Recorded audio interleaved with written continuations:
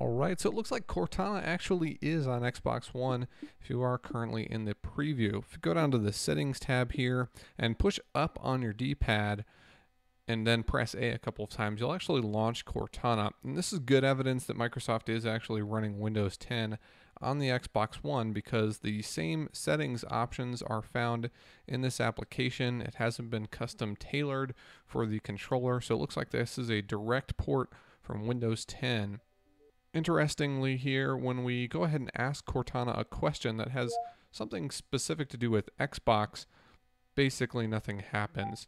So in the demo, we were we were able to see uh, the uh, demo players go ahead and say start a party, and then she would go ahead and start a party for them.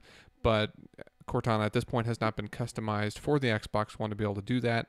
Just takes you to a Bing search, but you can still ask questions and activate her with your voice. So you can say Hey Cortana, and then ask her what the weather will be like for the day. High of 64 and a low of 46. So let's go ahead and try just one more Xbox specific command.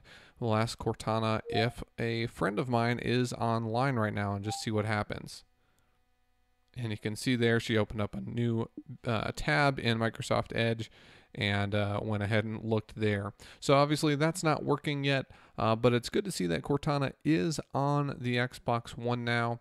Um, still, we don't expect for full functionality to come even into the preview until 2016.